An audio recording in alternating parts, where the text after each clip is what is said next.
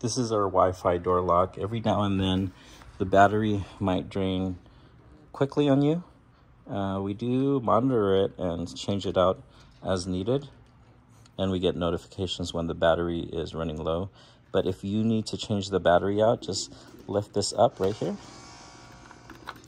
Slide up. And then right here is the battery compartment.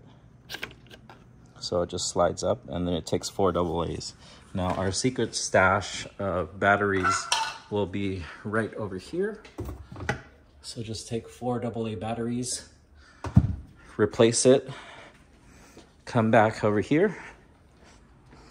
Go ahead and just slide that in like that. Make sure that it's working. Just press the lock button. It shows you. And then if you hit the lock button again, it should work.